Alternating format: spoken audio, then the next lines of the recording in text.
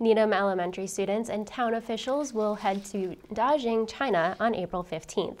They plan to begin building a sister city relationship. Here's Derek Reisner with more. On Wednesday, April 6, several students with their parents attend a meeting at Mitchell School, headed by Principal Michael Schwinden.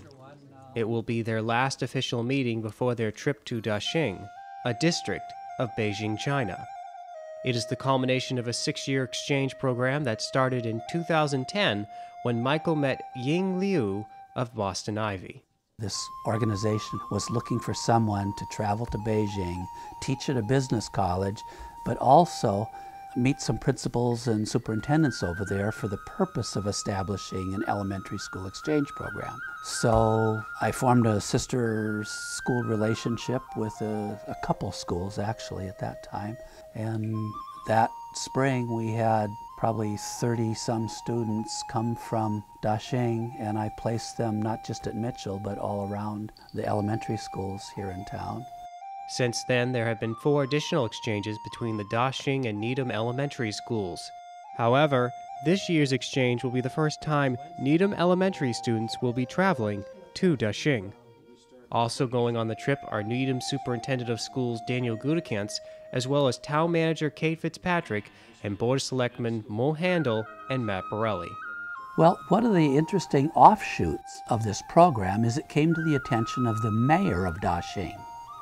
He heard about this exchange with Needham. And because Daxing will open in 2018, the largest airport in the world, he's very interested in creating sister city relationships with other cities. I think the issues of municipal government are universal. Um, they're about community, they're about people finding a place that they want to live in, they're about providing basic services, they're about community engagement.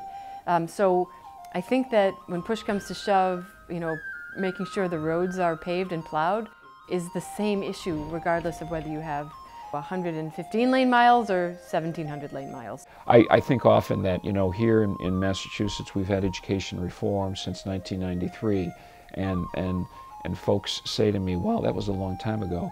And then I think to myself when I visit China, China, they think in millennia. They don't think in decades or, or centuries.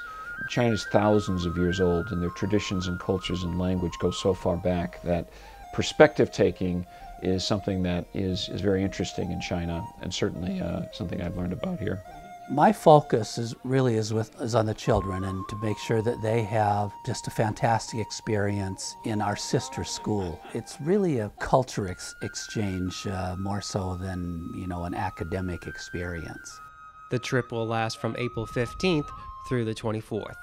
For the Needham Channel News, I'm Derek Reisner.